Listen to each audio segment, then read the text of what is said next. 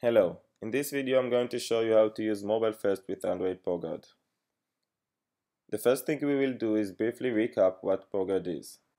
The ProGuard tool shrinks, optimizes and obfuscates your code by removing unused code and renaming classes, fields and methods with semantically obscure names. Because ProGuard makes your application harder to reverse engineer, it is important that you use ProGuard when your application utilizes features that are sensitive to security. For example, licensing applications. It's important to know the effect using ProGuard has on the code before moving forward. Let's take a moment and see a quick example of what ProGuard does to a file. We will start by taking uh, two APK files, convert them to jar, and view them with JDGUI. The first file is non-obfuscated started application sample APK file, whose code is clearly visible and vulnerable. It is easy to make out the code and manipulate it.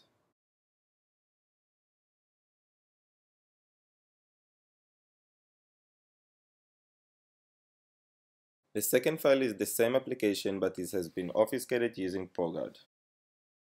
Renaming and reordering the code make it hard to restore.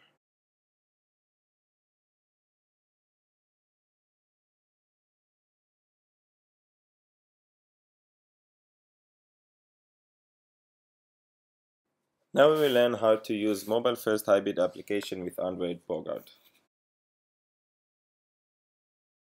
Let's quickly create a mo new mobile first hybrid application with Android environment.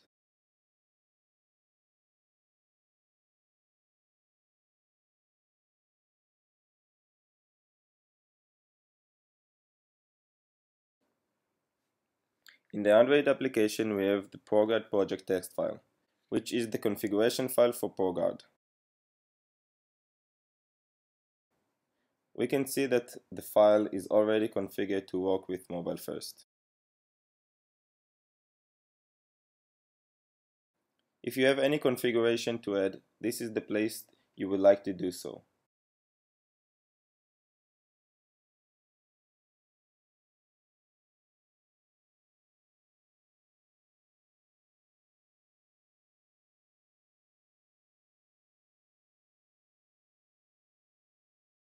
To enable ProGuard, go to the project properties file and uncomment this line.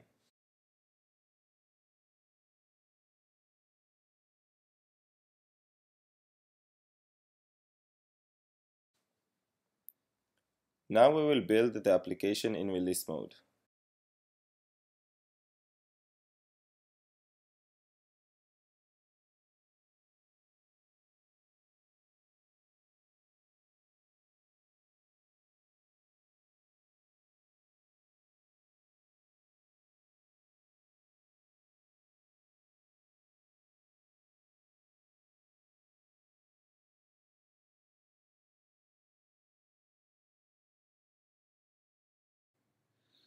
We can see that we have a new folder called ProGuard, which contains the information about the specific build that we just made.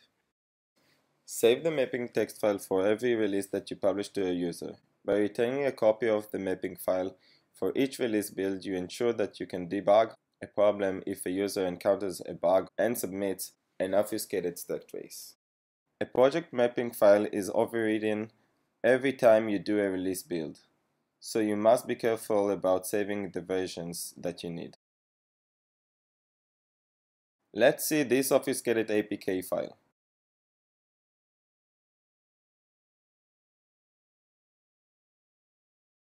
We will convert it to jar using the dex to jar tool.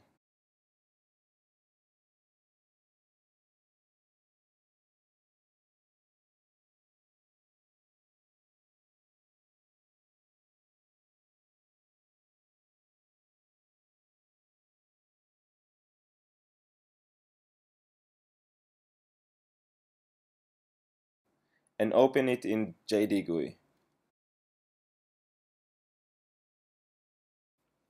You can see here our obfuscated code.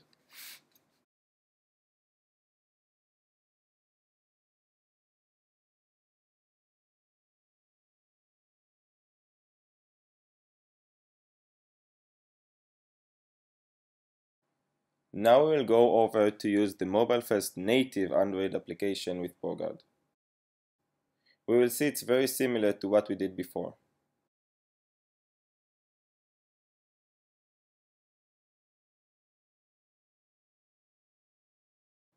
We already have the default ProGuard configuration file in our native application. Now we will need to replace it with a mobile first configuration file.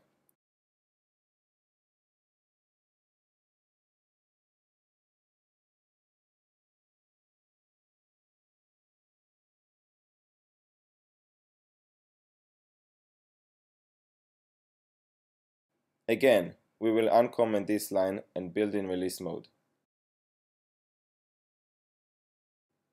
That's all.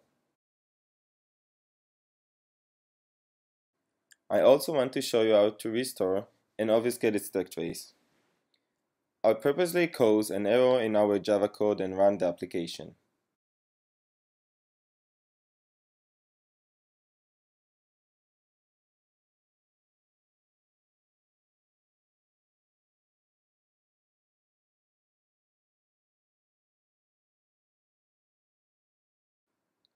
As you can see, we receive an obfuscated stack trace.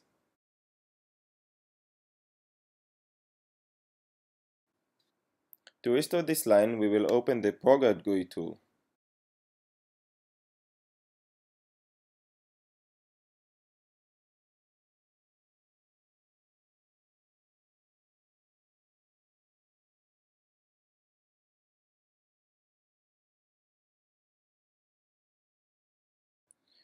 Choose the correct mapping file and copy the text to the stack trace.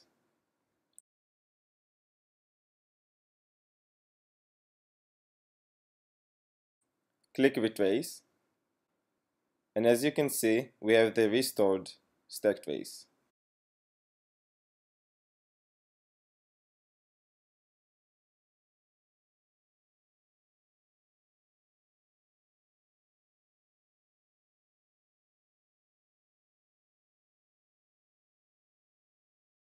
Everything explained until now can also be found in our Knowledge Center documentation under Deploying Mobile First Projects.